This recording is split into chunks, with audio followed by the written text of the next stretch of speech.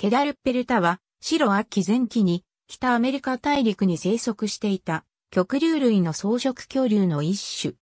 1990年、スーアンビル・ビーとエヴァン・ホールはユタ州カーボン群プライス川近くで鎧竜の化石を含んだクオリーを発見した。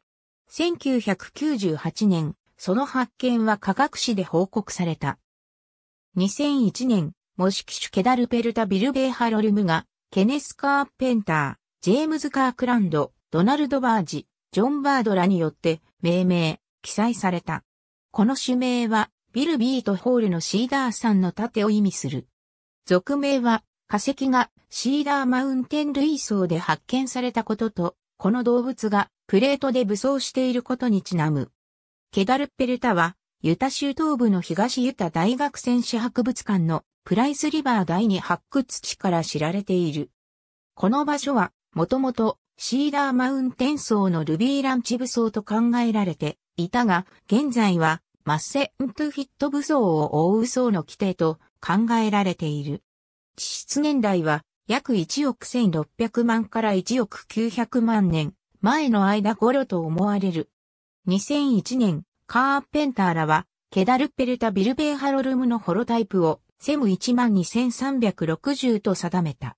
セム12360は、墳部と下顎を角、不完全な頭骨で構成されている。同年、カーペンターらは、パラタイプとして、ケダルペルタのものと考えられるほとんど関節した骨の長いリストも記載した。2008年、カーペンターらは、エメリー郡で発見された追加標本も研究した。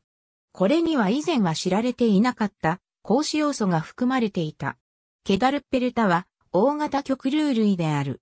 2010年、グレゴリー・ポールはその全長を約7メートル、体重5トンと推定した。カーペンターはより全長6メートルとより小さく推定した。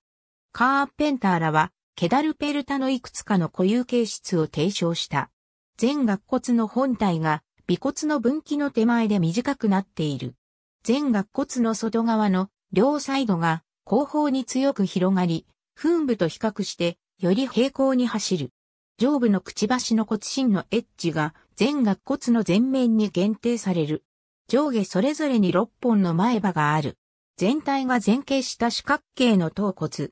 シャモサウルスの様相に反し、方形骨が頭頂骨の突起と融合しない。後頭下は長く、ノドサウルスのように真後ろに突き出ており、典型的なアンキロサウルス科のように斜め下には伸びない。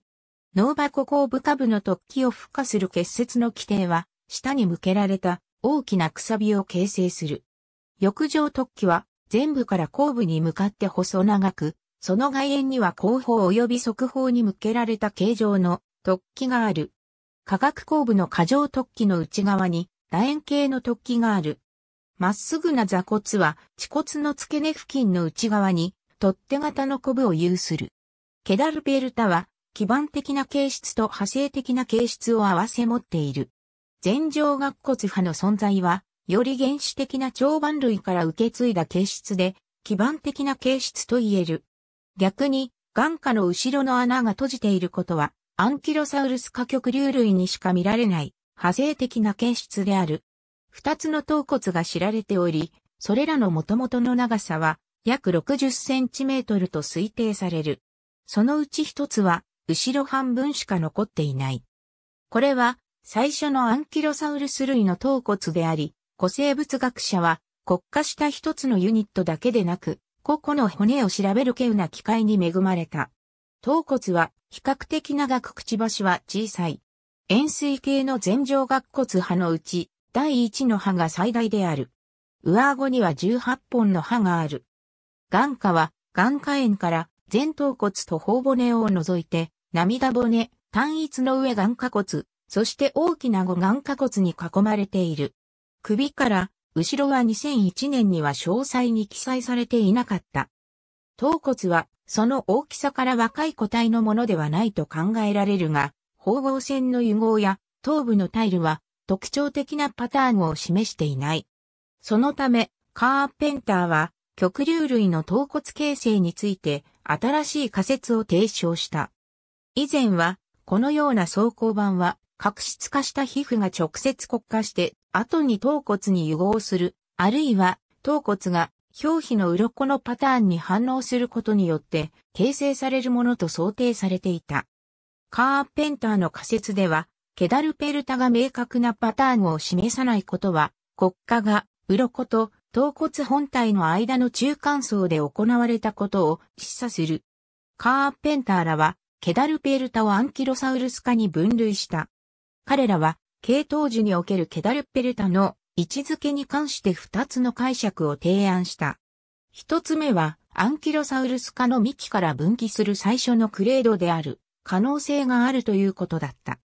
これは、その特徴の多形性と2001年にはバーレミアン基と推定されていたため、基地の中で最古のアンキロサウルス類になったということと整合する。二つ目は、中国、北欧部のゴビサウルスとモンゴルのシャモサウルスと共に、初期アンキロサウルス類のクレードをなすというものだった。しかしビッカリアスらは2004年に本属をノドサウルス科の再基盤に位置づけた。パウパウサウルス、シルビサウルス、そしてサウロペルタよりさらに基盤的な位置である。しかしながら、新標本はカーペンターらの最初の童貞を支持する。これは、ビクトリア・ミーガン・アルボアの分析結果とも一致する。彼女は、その研究において、再基盤のアンキロサウルス科であるガストニアのすぐ上にケダルペルタを位置づけた。ケダルペルタのテールクラブは知られていないが、アルボアは初期のアンキロサウルス類はクラブを持っていなかった可能性があると主張した。ありがとうございます。